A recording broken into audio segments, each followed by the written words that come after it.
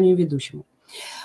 И я представляю вам нашего ведущего Анастасию Игоревну Похорукову, которая же с нетерпением ожидает, когда же мы передадим ей слово. И, наконец, этот торжественный момент наступил. Анастасия Игоревна.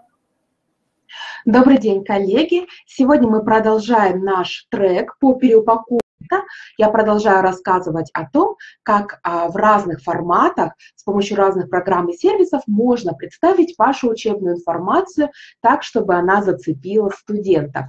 А на самом первом вебинаре я говорила про записи лекций, про то, что это хороший исходный материал, но он требует дальнейшей доработки. Видео, которое вы записали, нужно а, смонтировать, почистить звук, нужно его так или иначе оформить.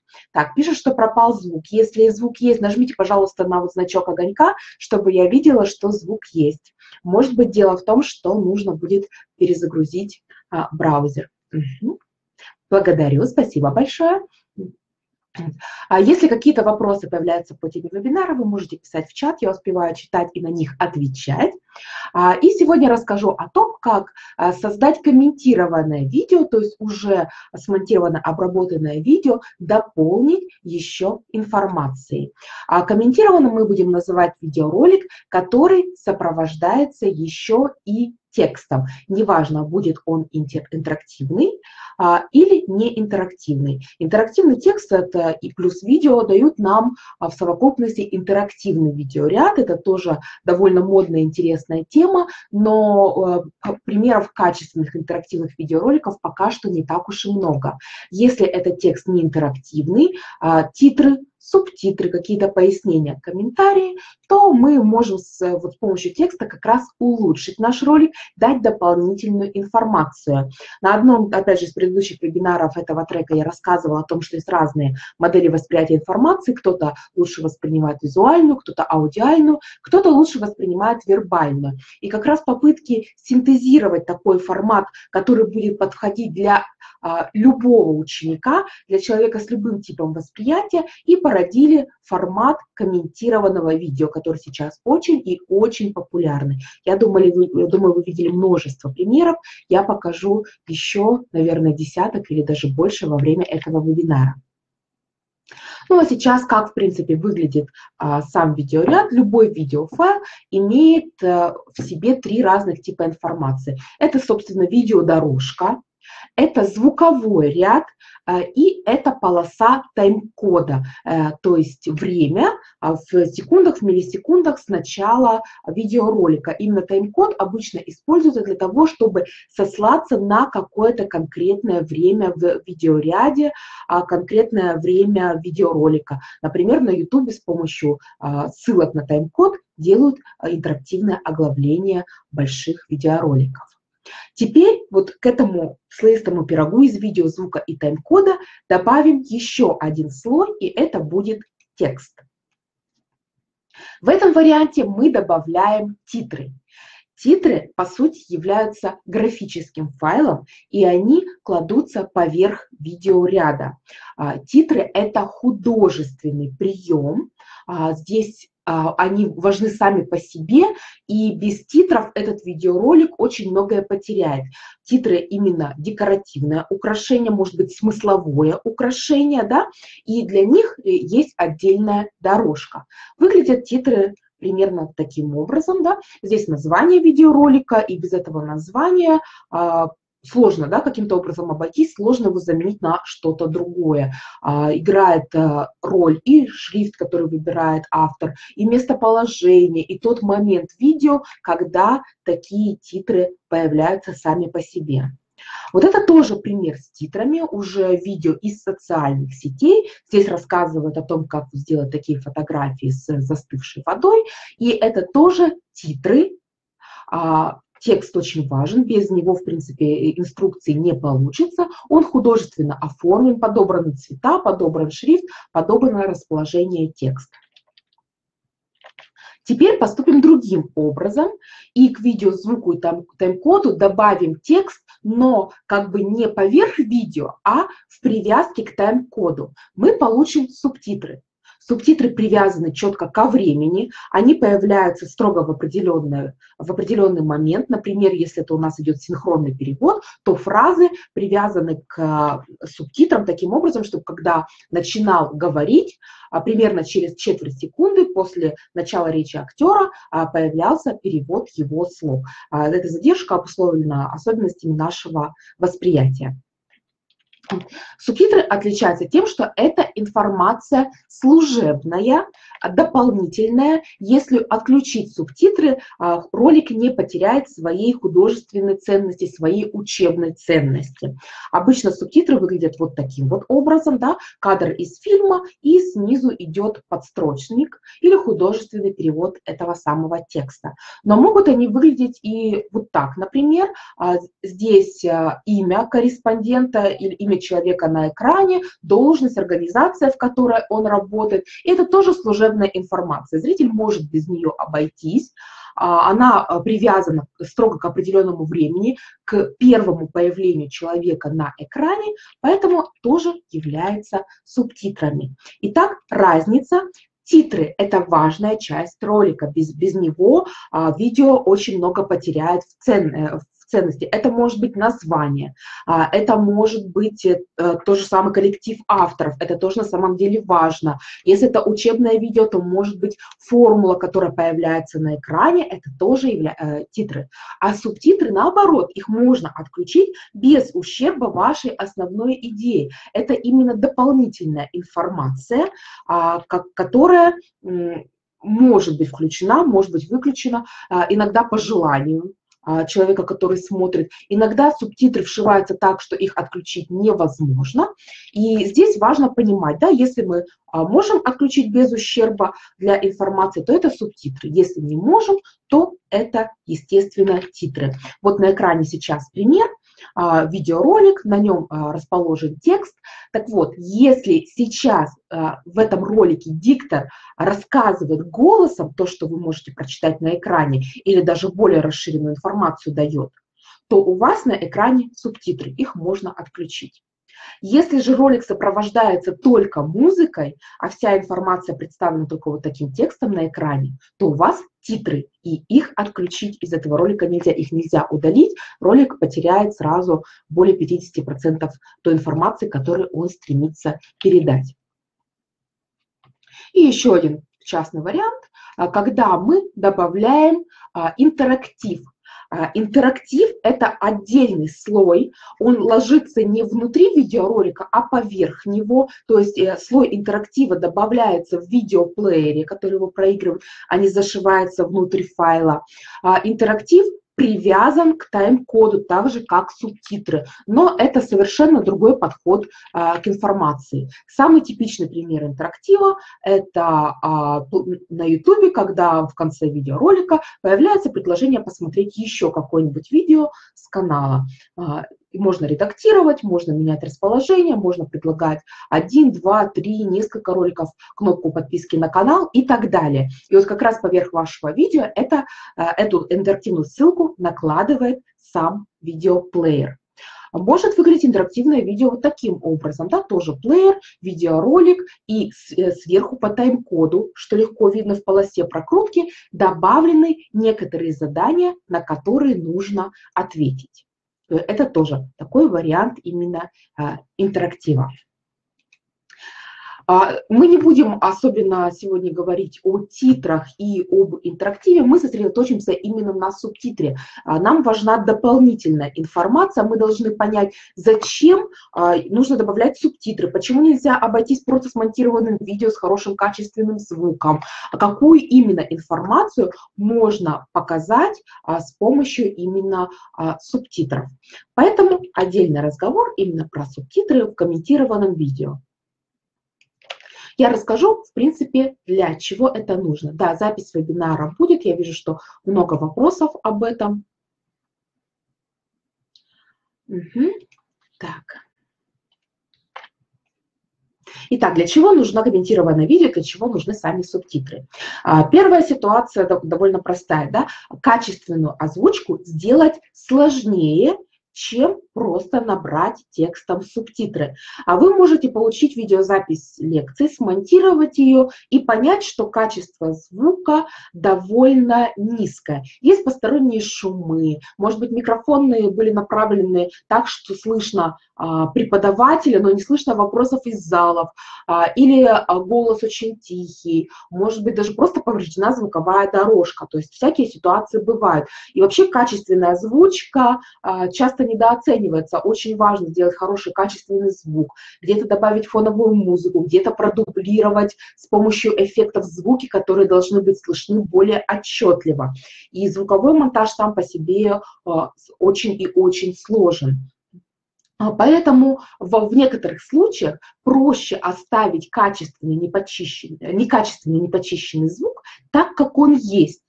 Но сверху положить уже субтитры, где а, добавить отредактированный текст, да, более яркий, короткий, выразительный пересказ того, что происходит на экране, а, текстом прописать те реплики, которые плохо слышно на видеозаписи.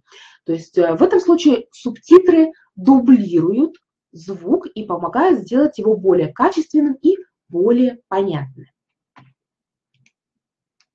Следующая ситуация, когда вам могут пригодиться субтитры, это, конечно, синхронный перевод. Я думаю, таких вариантов вы видели множество. Фильмы, сериалы, когда мы смотрим, а можно смотреть их на языке оригинала и включать дорожку. Или наоборот, смотреть в переводе и включать а, дорожку, например, на английском языке для того, чтобы э, где-то понимать игру слов, где-то идиомы, да, где-то какие-то жаргонизмы, чтобы не терять вот эту э, смысловую насыщенность. И в учебном контенте синхронный перевод тоже можно использовать, причем не только на уроках иностранного языка, а, но и в каких-то других э, ситуациях, да, например, когда вы упоминаете первый раз какой-то термин, можно дать его расшифровку с переводом, да, с, например, а, от латинского такого-то слова произошло. То есть э, то, что вы не упомянули или решили не упоминать на лекции, или, может быть, вырезали это при монтаже, вполне можно э, перенести в субтитры, так же, как если бы это был как раз синхронный перевод. Следующая, третья ситуация – это дополнительная справочная информация. Как раз а, тут, э, та ситуация, когда больше хочется видеть все-таки интерактивные субтитры, а не просто какой-то текст на экране, а, чтобы была активная ссылка, по которой можно перейти на сайт, где больше информации, а, ссылка на домашнее задание, которое вы предлагаете ученикам и так далее. А, можно разместить какие-то пояснения, если вы упоминаете какого, какого-то человека, то краткую биографию тоже можно разместить с помощью субтитров. Если у вас нет возможности сделать интерактивное видео, а вы хотите предложить студентам перейти по какой-то ссылке, то в качестве субтитров вполне доступно размещение или сокращенной ссылки, которую легко набрать, да, в которой меньше символов, или QR-кода. А QR-коды, мне кажется, это один из самых удобных вариантов. Такой код занимает мало места на экране, не, не, отнимает, не отвлекает внимание от самого видео, и легко навести телефон, щелкнуть и перейти по ссылке. А если на телефоне нет специального приложения, которое распознает QR-коды, то у большинства студентов, я более чем уверена, стоит приложение ВКонтакте, и как раз с помощью камеры ВКонтакте можно прочитать любой, любой QR-код. К тому же это приложение распознает цветные QR-коды, то есть можно а, с помощью цвета еще разграничить информацию. Вот по этому, по этому ссылку, по зеленым ссылкам вы перейдете на дополнительную информацию, по красным ссылкам домашнее задание, а по синим, а, например, какой-то видеоролик, который не обязательно, но желательно просмотреть. Следующая, четвертая ситуация – это э, учебный контент, который вы публикуете в социальных сетях. В социальных сетях у большинства включено автовоспроизведение, то есть когда люди листают ленту, видеоролик начинает воспроизводиться автоматически. И а, он автоматически воспроизводится без звука. Если кто-то заинтересовался, он может включить звук, но большинство начинает смотреть видео без звука. И только э, уже потом, ближе к концу просмотра, могут включить сам звук или начать видео смотреть с самого начала уже с включенным аудио. А, но, э, опять же, э, тесты, да, изучение поведения пользователя говорит о том, что процентов 60 смотрят видеоролики в социальных сетях без звука.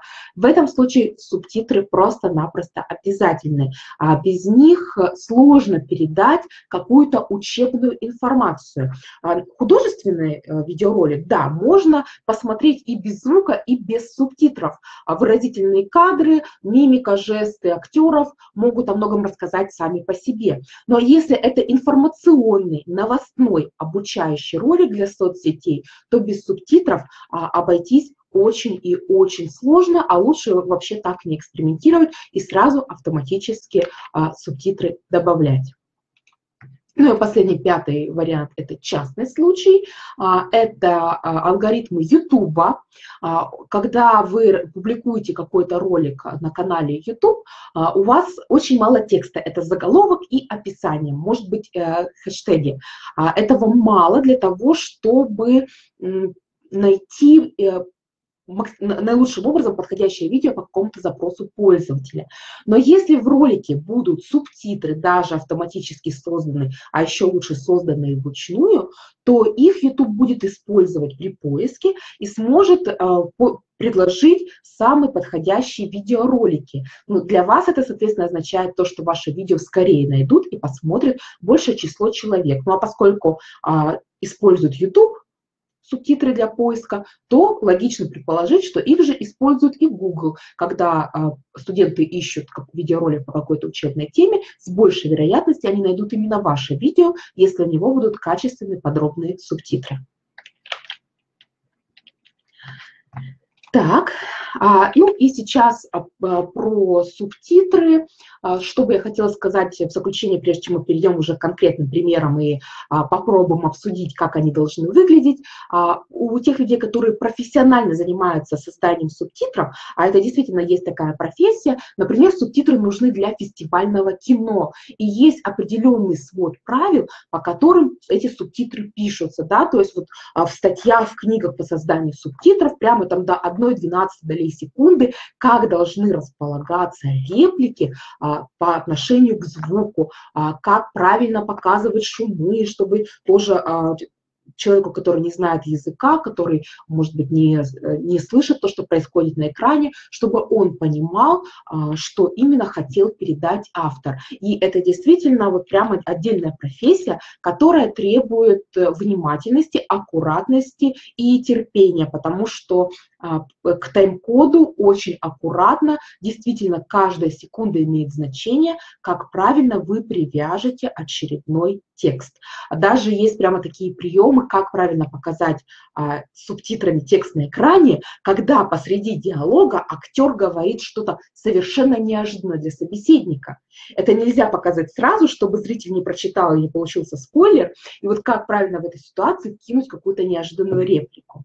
Очень интересно на самом деле, но обычно, когда мы видим какие-то любительские субтитры, а, они могут выглядеть вот таким вот образом, да, а, перекрывая часть экрана, может быть, не очень аккуратно, зато с дополнительными пояснениями. Я хотела найти, но не смогла пересмотреть, к сожалению, сразу несколько сезонов, для того, чтобы найти субтитры, которые занимали а, 5 шестых частей кадра, потому что переводчик решил в какой-то момент объяснить а, сложную лингвистическую шутку. И а, когда мы смотрим вот видео не в кинотеатрах, а вот так дома, на экране монитора на ютубе, мы всегда можем поставить на паузу и прочитать текст. Если нам начнут мешать такие подробные субтитры, мы сможем включить другую, менее подробную дорожку субтитров или отключить их вообще. Поэтому субтитры в обучающих видеороликах не требуют вот а, такой внимательности, такой аккуратности и такого следования международным стандарт, стандартам создания субтитров. Но это не значит, что нет совершенно никаких правил. И именно о правилах работы с субтитрами мы сейчас с вами поговорим, как правильно написать на экране, как сделать так, чтобы они были читаемы, как сделать так, чтобы субтитры были удобны для ваших зрителей. А, сейчас будем работать следующим образом. Я покажу вам на экране пример кадра с наложенными сверху субтитрами, а вы напишите мне, пожалуйста, в чат, что не так, что первое бросается вам в глаза. Мы обсудим и подумаем, как улучшить а, так, такой кадр, как изменить субтитры, чтобы они были более читаемы. Итак, что не так в этих субтитрах, что первое бросается вам в глаза? А,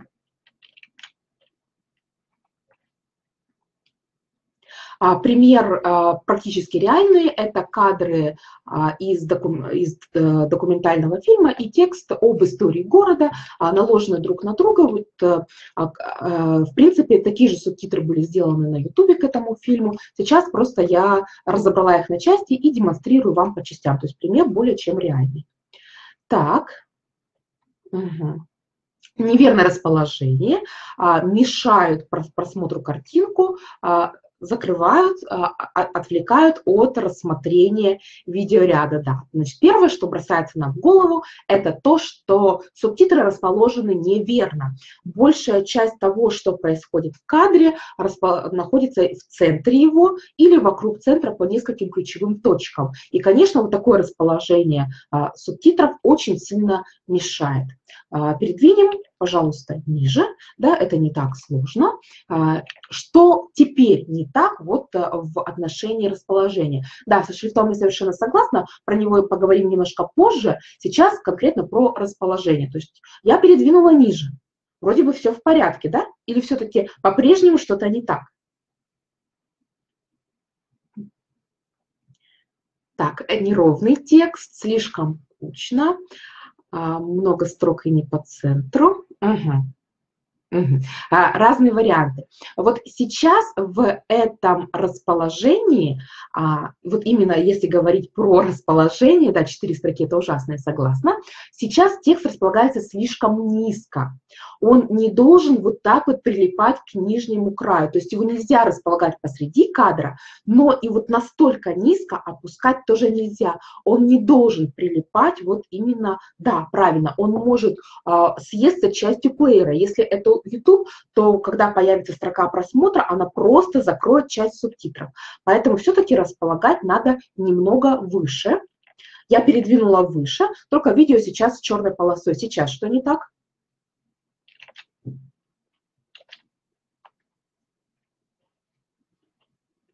А если говорить про видео с, черным, черной полосой, то тут нужно иметь в виду, что а, черные полосы в исходном видео, то есть у вас есть уже готовое видео, и сверху вы накладываете субтитры. Сейчас YouTube может отображать хоть квадратное, хоть э, узкое вытянутое видео без всяких черных полос. То есть если только сразу видео с черными полосами. Так, лучше уж тогда на черном поле, одной строкой. Да, если у вас видео с, черными, с черной строкой, нельзя располагать субтитры так, чтобы часть была на черной полосе, а часть была на кадре. Лучше всего, конечно, полностью располагать на черных а, на черных полосках. Если нет такой возможности, то полностью располагать на кадре. А, и так, и так одновременно делать нельзя. Да. Подведем итоги. Правила расположения субтитров снизу кадра, так, чтобы не занимать и не загораживать центр. Но при этом к нижней границе, конечно, прилеплять нельзя. Если черные полосы, то мы стараемся текст разместить именно на них. Так, хорошо. Давайте посмотрим дальше. И следующая ситуация. Я поправила шрифт чтобы теперь вы не переживали за, за, за него. А, субтитры расположены снизу. Шрифт более подходящий. Что теперь не так? Что в этом кадре а, с, творится с субтитрами? Почему они написаны неверно?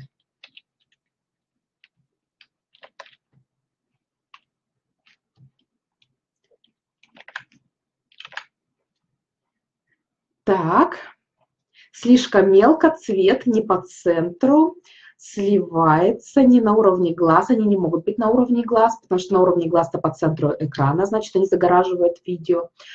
Так, левая центровка прилеплены слишком в углу. Итак, как я уже говорила, а, то, а, э, то, вокруг чего строится кадр, вокруг чего строится композиция видеоряда, это центр и несколько ключевых точек вокруг. То есть видеокадр вообще мы начинаем рассматривать с вертикальной оси симметрии. И когда наши глаза двигаются по кадру сверху вниз, мы ожидаем, что и субтитры, что текст же будет находиться в том же самом месте, так, чтобы его было удобно изучить. А вот в этой ситуации нам приходится прыгнуть глазами в левый нижний угол. И это, конечно, неудобно. А, по уму, конечно, нужно а, располагать субтитры вот таким образом, так, чтобы а, они были не только снизу, но и располагались именно по центру кадра. И как раз в этом случае используется выключка по центру, то есть мы выравниваем текст по центру. Если мы его выровняем по правому краю, по левому краю, то зрителю придется слишком сильно а, двигать глазами. Это неудобно, это, конечно, отвлекает. Задача субтитров давать дополнительную информацию, не отвлекая от просмотра видео. Если мы выровняем по ширине, то будет а, еще тяжелее смотреть, потому что будет неровное расстояние между словами. И тем более уж если будет от края до края. Э, точка в конце предложения обязательно, а, да, в этом случае точка в конце предложения обязательно. Это не заголовок, это именно основной текст, то, что на, э, произносит диктор, дублирует, дублируется субтитрами. Поэтому, да, я считаю, что точка в этом случае обязательно. А, так. А, а если на экране у нас располагается не просто какой-то абстрактный текст, а диалог между двумя персонажами. А мы обозначаем диалог с помощью длинного тире в начале строки, да, для того, чтобы понять, где чья реплика. Это из-за а, социальных сетей точка режет глаз. А, на, самом деле я долго училась не ставить точки в конце предложения, когда а, нужно было написать, что в социальных сетях, особенно когда работаешь с заголовками, со списками и с перечислениями. Поэтому я прекрасно понимаю, что после там, лет 10-15 жизни в социальных сетях все знаки препинания начинают немножко мешать и путаться. Угу. Да, я понимаю, что шрифт и цвет режет глаз, мы до них еще доберемся сейчас, пока а, разбираемся вот именно с расположением. Предлагает выравнивание по левому краю. Вот вариант выравнивания по левому краю. Действительно, такой вариант тоже может быть. Так удобнее читать диалог, потому что у нас есть опорный левый край, но при этом все равно нужно располагать строчки так, чтобы они группировались вокруг центра кадра. Так, можно выделить разным цветом, можно, а, но не нужно. Про цвет мы тоже поговорим, и я объясню, почему не стоит использовать разные цвета. А, неправильно ставить точку в конце, так как кадр как плакат. Конечно, потому что сейчас вы видите на экране а, просто скриншот, просто один кадр. Когда это идет видеороликом, когда кадры сменяют друг друга, то есть представьте, за то время, пока зритель читает вот эти вот э, три строки текста, а на экране успевает смениться а, три кадра. Плюс параллельно еще идет а, музыка, голос диктора и звуковые эффекты. А, и впечатление совершенно, э, просто, просто совершенно другое. А, видео вообще тяжело воспринимать как череду скриншотов. А, именно в том, что оно движущееся, в магии движения, в магии э, смены и стыковки разных кадров, и есть его особое очарование. Так, кавычки. Вопрос с кавычками. Кавычками обозначать, ну, в таком случае это может быть какой-то диалог в прошлом, может быть, э, о, чем-то человек подумал, да, может быть, а, прямая речь внутри прямой речи. А, но поскольку то, что происходит на экране, довольно динамично, мы видим его здесь и сейчас, то и диалог мы оформляем обычно так, как будто он происходит здесь и сейчас с помощью длинного тире. И действительно, кавычки а, сильнее сливаются с текстом, то время как длинное тире сливается с текстом в меньшей степени. Так, давайте подведем итоги нашей небольшой дискуссии. А, субтитры нужно выравнивать по центру. Это удобнее для человека, который просматривает. Ему не приходится сильно бегать глазами по сторонам. А, поэтому в этом случае а, выравнивание по центру один из тех немногих случаев, случаев когда оно оправдано. Я, в принципе, не очень люблю выравнивать текст по центру, но для субтитров это э, самый оптимальный вариант. Если у вас диалог на экране, то вы обозначаете реплики с помощью длинного тире, желательно именно длинного по возможности, да. А, и текст можно выровнять по левому краю, но сам текстовый э, блок нужно располагать по-прежнему вокруг центральной оси кадра. То есть можно, но не обязательно. Смотрите, как вам, э, как вам удобнее. Так, следующая ситуация. И здесь а, мы как раз а, поговорим с вами про длину строк и про их количество. Нет, курсив тоже не стоит использовать.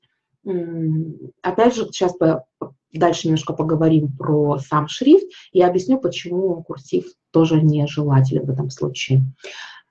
Итак, очередной кадр, очередные субтитры. Да, совершенно правильно, в две строки.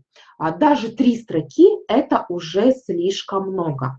А вы совершенно правильно писали с самого начала, что количество строк нужно сокращать. И оптимально – это действительно расположить весь текст в две строки. Но если я э, сделаю вот так вот, мне кажется, что намного лучше не стало. Почему? Потому что сейчас а, в строчках слишком много символов. Длинная строка, опять же, отвлекает и мешает а, зрителям пробежать ее глазами. То есть сама строка а, слишком длинная. Да, субтитры не предназначены для таких длинных фраз. И если у вас большой текст, то его лучше разбить на несколько порций, на несколько субтитров.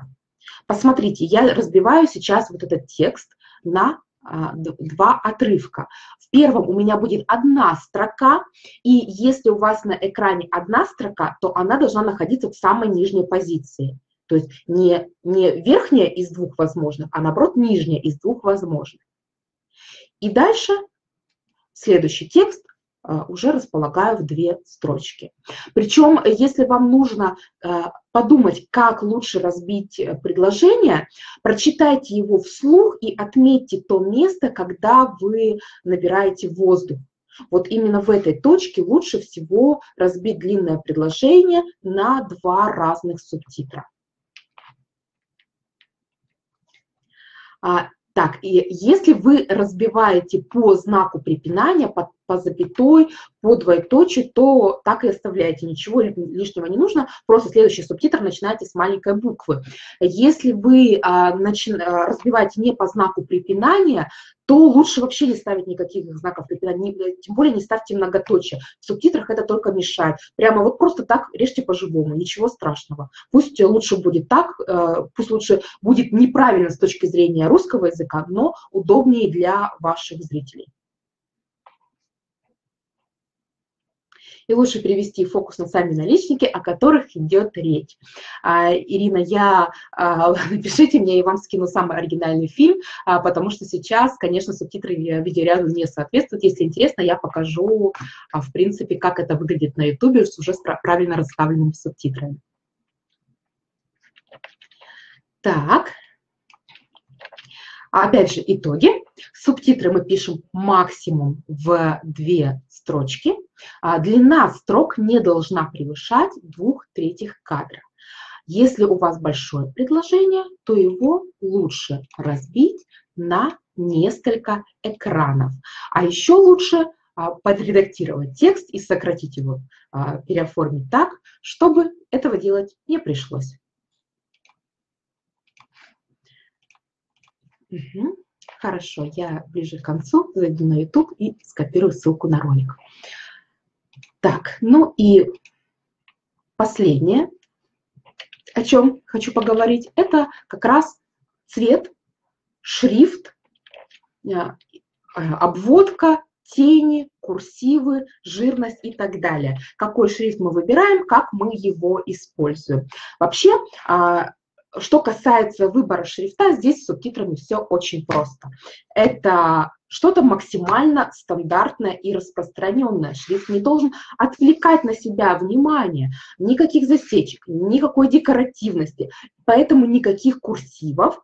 А, это Arial, это робота, это вот какой-то такой максимально простой вариант. И без жирности обойтись а, очень и очень сложно. А, нужен, нужен довольно насыщенный шрифт, то есть это а, а, bold, black, а, в крайнем случае 7 болт, но нежелательно. Желательно 800-900 э, жирность выбирать. Да, а сейчас, конечно, а, совершенно ничего не видно, потому что не подходит э, цвет. Черный сливается. А, и лучше выбрать какой-то другой вариант. New Roman ну, без засечек, да, ведь он, да? Times New Roman, э, если вы, его видите в виду засечками, если это какой-то без Times, New Roman, я не знаю, как он выглядит. Калибри, да, калибри может подойти. Угу. Да, Arial э, – это типичный вариант переводчиков. Тем более у Arial есть хорошая насыщенность. Arial Black, он да, да, для этого подходит. Давайте я поменяю цвет. А стало ли лучше, вот на ваш взгляд?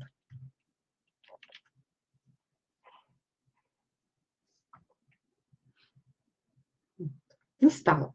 А теперь представьте, что у вас еще кадр подвижный. А, то есть камера меняется, а, появляются более темные, более светлые участки, и поэтому ни черный, ни белый цвет в нашем случае вообще в принципе не подходит. Посмотрите, вот здесь вот на окнах буквы просто сливаются с белым цветом рамки. Да, а, можно изменить ситуацию. Есть целых два способа, как сделать субтитры более читаемыми. Ядовитое не надо, оно а, как раз здесь не подойдет. Фон или контур. Итак, вариант первый действительно. Мы добавляем к шрифту обводку, контур текста. Здесь нужно смотреть внимательно на буквы А, Е, так, чтобы обводка не слипалась между собой. То есть вот здесь, например, в шрифте, если вы посмотрите на Е, то вы увидите, что черная обводка слипается друг с другом. А, например, в шрифте робота таких проблем нет, и в Arial тоже таких проблем нет. Именно поэтому используются а, стандартные варианты. То есть типичная ситуация – это когда вы берете белый цвет шрифта и черный контур обводки. А еще лучше светло-серый цвет шрифта и темно-серый контур обводки. Во-первых, вы немножко снижаете контрастность, чтобы они не резали по глазам. Во-вторых, а, в видео вряд ли попадутся настолько контрастные фрагменты, и субтитры будут их забивать как раз своим контрастом. Поэтому лучше брать э, светло-серый э, фон и темно-серую обводку. А, синий, желтый цвет текста. Желтый цвет текста тоже используется. И вот как раз а, желтый – это, наверное, один из тех немногих вариантов, а, когда можно использовать второй цвет. То есть вы можете какое-то слово выделить желтым цветом, оставив такую же темно-серую обводку, для того, чтобы привлечь к нему внимание. Полностью желтый, мне кажется, не самый хороший вариант. А, да, действительно, полностью желтый будут бить глаз, а вот если какое-то одно слово нужно выделить, тогда можно использовать желтый. Остальные цвета, мне кажется, а, подходят намного меньше. Да, здесь сам по себе очень сложный кадр, потому что кирпичи. С кирпичами вообще субтитры очень и очень тяжело. Так, а, Gothic, да, э, вопрос про насколько подходит этот шрифт. А Gothic, а, да, он без засечек, его можно поставить э, жирным, а, но сейчас я посмотрю, насколько у него будет сливаться обводка. А, ну, в принципе, можно, да, можно попробовать. Вроде бы обводка не сильно сливается с остальным текстом. Особенно буква Е достойно выглядит. Да, в принципе, хороший вариант. И буквы А простой формы можно попробовать. Центре готик, мне кажется, этот вариант подойдет. Так, да, и окно еще белое, да-да-да. Угу. Поэтому вот второй вариант – на выбор. А в каком-то случае лучше использовать вариант действительно с подложкой. В этом случае полупрозрачная подложка. Здесь я взяла автоматически темно-серую, надо было все-таки взять черную, прозрачную на 60%. Слишком светлая подложка у меня получилась в этой ситуации. И полностью белый текст на нем. А, опять же, тоже все-таки простой текст, хотя раз нет а, обводки, то нет необходимости смотреть, слипаются ли буквы А и Е. Ну, то есть в этом случае с кирпичами, конечно, лучше выбрать вариант с подложкой. Опять же, такой вариант автоматически предлагает YouTube. Если вы вставляете субтитры, автоматически они пишутся на подложке.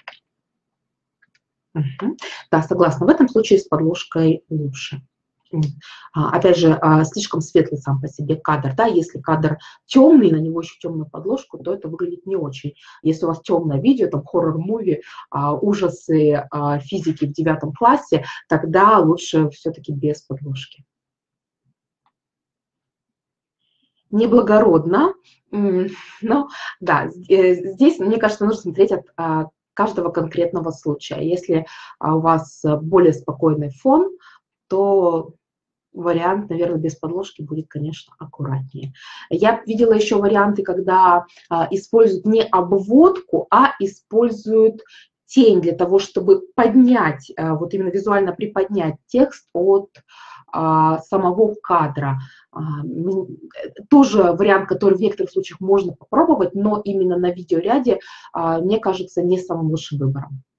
Если подложка, наоборот, будет светлой, э, белая подложка и черный текст, да, тоже вариант имеет право на существование, но а, тогда субтитры будут привлекать к себе больше внимания, и тогда а, их все-таки, они уже станут не субтитрами, а титрами, то есть очень важной частью. Если вы делаете видео для социальных сетей, которое в принципе не может существовать без субтитров, потому что многие смотрят его без звука, конечно, тогда можно использовать и светлую подложку, черный текст, и выделение синим и так далее. То есть вот эти классические варианты, которые я вам рассказывала, это а, классический вариант для учебного видеоролика. Если видео идет для социальных сетей, там и шрифт можно использовать более декоративный, и цвета можно использовать более яркие, потому что для социальных сетей все-таки э, это не субтитры в чистом виде, это, наверное, нечто среднее между титрами, смысловыми э, текстами и самими субтитрами.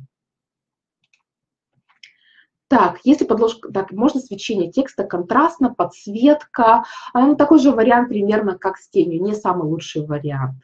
А, фактически, если вы делаете подсветку серой, черной, то это та же ситуация, что и с тенью. А цветной делать ее однозначно не стоит. Любой цвет отвлекает.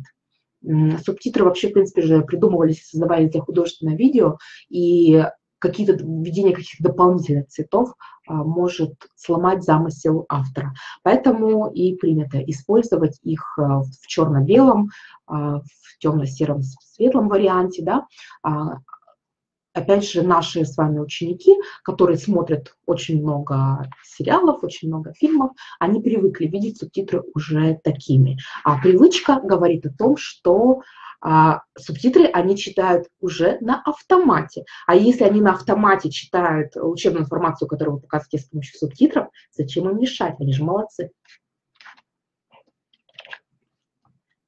Угу. Так, ну и в завершении несколько слов я хочу сказать о программах и о сервисах, в которых вы можете э, создать субтитры. Вообще большинство программ, большинство сервисов, э, подавляющее большинство, естественно, имеют инструменты, которые помогут создать субтитры.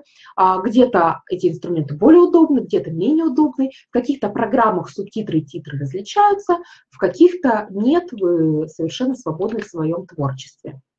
Первая программа, о которой мы обычно говорим, это видеопад.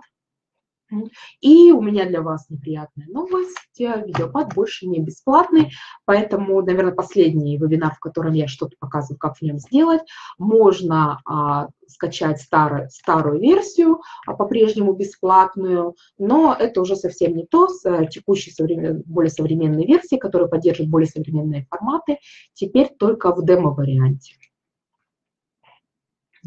Если вы еще не успели обновить до платной версии, если вы собираетесь продолжать пользоваться теми вариантами, которые были бесплатными, то вот здесь вот в главном окне программы сверху у вас есть две кнопки «Добавить текст» и «Добавить плашку». То есть текст просто, просто субтитр, а правый вариант – это субтитр с подложкой да, на плашке. Таким образом называется. А вторая программа, которую я вам показывала, это Shotcut. А здесь, э, но я не могу рассказывать про Sony Vegas, да, я его нежно, нежно люблю, но не у, всех, не у всех он э, лицензионный, поэтому я его так аккуратно а, пропускаю. Я рассказываю про те программы, которые действительно бесплатные, которые можно вот так вот скачать и пользоваться ими а, свободно. Вот, я же, а, и в противном случае я бы рассказывала вам, как прекрасно делать титры в Adobe Premiere, когда они добавля, добавили последнюю версию, а, и это все стало намного-намного удобнее. Итак, программа Shotcut, точно так же главное окно программы. А, титры добавляются сюда двумя способами. Первый вариант – это субтитры, привязанные к конкретному видеоклипу. А, они э, добавляются как фильтр, то есть вот здесь вот вы выбираете инструмент фильтр, ищете фильтр, который так и называется текст, и пишете то, что вам нужно показать на экране. А, они будут находиться на экране, пока будет проигрываться этот видеофрагмент. Если вам нужно сделать субтитры, которые меняют друг друга по репликам, вам придется нашинковать этот видеоклип на кусочки. Каждому кусочку строчку применить отдельный фильтр. Если же вам нужно сделать титры, э, свободно располагающиеся на экране, то нужно а, вот здесь вот вторая слева кнопка «Открыть другой», щелкнуть и выбрать вариант э, ну, с добавлением текста. Вообще, чтобы не отнимать время у нашего вебинара, вы можете а, перейти по вот этой вот ссылке. А, эта статья очень подробная о монтаже в программе Shotcut, в том числе есть отдельная глава, посвященная как раз а, разным способам создания титров, субтитров, водяных знаков, логотипов. Еще одна программа – это DaVinci Resolve. Он по-прежнему остается бесплатным и доступным для нас с вами. А, здесь для того, чтобы добавить титры, нужно перейти в, в раздел, который называется Effects Library, библиотека эффектов, и тоже титры добавляются как эффекты. А, можно наложить их сверху на а, видео и сделать по длине так, как нужно. То есть, несмотря на то, что они добавляются в библиотеке эффектов, они а, также а, создаются как а, отдельный а, файл, который можно положить выше. Так, а, ссылку в чат на Текстеро. Сейчас я выделю. Это по программе Shotcut. А это уроки теплицы а, по программе DaVinci Resolve. Угу. Здесь по этому тегу у них собрано несколько интересных уроков, тоже можно посмотреть, в том числе про то, как работать с титрами, тоже есть информация. А, следующий сервис Э, это YouTube, про который, естественно, нельзя пропустить, и обязательно нужно сказать хотя бы пару слов. А, вам нужно открыть творческую студию YouTube для того, чтобы добавить субтитры без всяких монтажных программ. Вы просто выбираете один из загруженных роликов, а, нажимаете кнопку редактирования, и вот здесь вот у вас снизу есть раздел, который так и называется субтитры. Вот у меня к видеоролику а, есть субтитры, которые YouTube создал автоматически, распознал текст, мне они не понравились, поэтому я сделала свой вариант, субтитры вручную. Вот э, сам фильм. А, нет, это только ваш ролик, который вы сами загрузили на канал. Да, вы можете, по идее, его скачать, перезагрузить на YouTube и тогда добавить к нему титры. Вот здесь они привязаны ко времени, можно сразу смотреть, как, э, в какой момент они появятся на экране. Можно а, просто скопировать текст, если у вас есть текстовая расшифровка, вставить а, сюда в окно редактирования на YouTube, и потом уже аккуратно при необходимости разбить по времени. И, и здесь же можно добавить вот интерактивные врезки, точно так же в студию YouTube. Как вы видите, а, когда вы открываете окно редактирования ролика, именно редактирование уже, а не субтитры, вам предлагается несколько дорожек. А, само видео, звук, ниже можно добавить размытие, если вам нужно, например, а, спрятать какую-то часть ролика, да, размыть какую-то часть изображения. А вот самая последняя, четвертая строка, это как раз добавление интерактивных ссылок. Когда вы кликаете на плюсик, вам предлагают варианты. А, вставить какое-то видео, вставить ссылку на плейлист, на канал, на подписку. В принципе, все довольно просто. Здесь а, легко разобраться, но а, главное знать о том, что такая возможность существует. И последний сервис, который хочу показать, это тоже веб-сервис. Он называется Супа. Это такая канва для видео. А, и в нем а, можно создавать э, слайд-шоу с текстом, можно фотографии, можно а, видеоролики сюда загружать. У вас есть большое окно, в которое вы размещаете ваше видео. Сейчас зеленой рамкой выделено как раз таймлайн, как в монтажных программах, где можно двигать э, слайды, двигать э, э, время появления титров на экране. И если вы щелкнете по любому тексту вот на этом фиолетовом фоне, то справа у вас появится окно редактирования. Здесь можно изменить шрифт, подобрать цвет, а, добавить какие-то анимационные эффекты. А, тоже можно работать на бесплатном тарифе, но будет водяной знак самой супы. Если вы хотите узнать о том, как работать с этим редактором, то вот здесь у нас есть такая небольшая, но в принципе, довольно понятная инструкция. Да, есть бесплатный тариф, точно так же, как в конве, но водяной знак будет у вас на экране появляться. А, в принципе, это все, что я хотела рассказать вам про комментированное видео, про разницу между титрами и субтитрами, про правила их размещения. На самом деле это очень, а, действительно очень мощный инструмент, с помощью которого вы можете а, делать ваши учебные ролики, ваш образовательный контент еще более полезным, еще более насыщенным информацией. Какая программа самая простая или какой сервис самый простой? А что касается программ, то э, шоткат из того, что я показываю, он самый простой. А, у него единственная проблема, он немножко нестабильный, он э, периодически вылетает, то есть там нужно почаще сохраняться. Да, эти ссылки, конечно же, есть в том а, документе, который вы скачаете. И в качестве вот примера, да, то, что мы с Ириной Громовой э, говорили, сейчас я скину ссылку как раз вот на тот ролик. А, это документальный фильм, а, он рассказывает про историю нескольких домов и самого города, и, э, в него как раз вшиты субтитры, которые я делала вручную. Вы можете посмотреть, как они выглядят на ютубе, как они расположены по времени.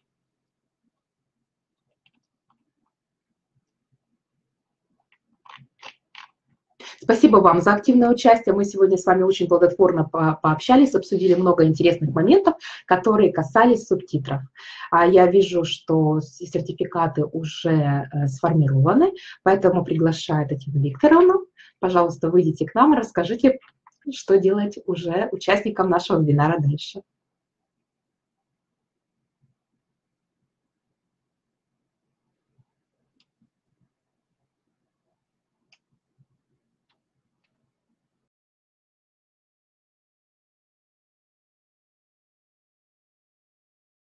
Поблагодарить всех, э, кто сегодня был с нами.